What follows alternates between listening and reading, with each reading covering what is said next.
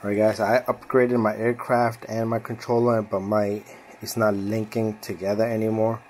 So what I want to show you guys is there's a small little red button right in here guys.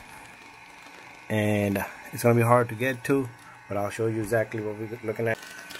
Alright guys, the button is right there. If you look right below this little switch, right in there, it's like it has a red sticker on it. Let me see if I can take my light in there right in there is a small button so I will get a small little needle and I'll command my controller here to connect to the aircraft and we'll push that button. All you're doing is you're pairing these two. Alright so what we're gonna do is in the app you're gonna collect connect select controller. You're gonna go okay.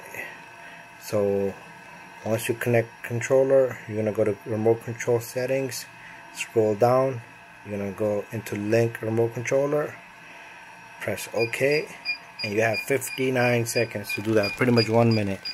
And you're gonna push that little red button. You could use something small like that and there you go. Remote controller linked ok. Alright? There's a quiz in here. We're not gonna go through the quiz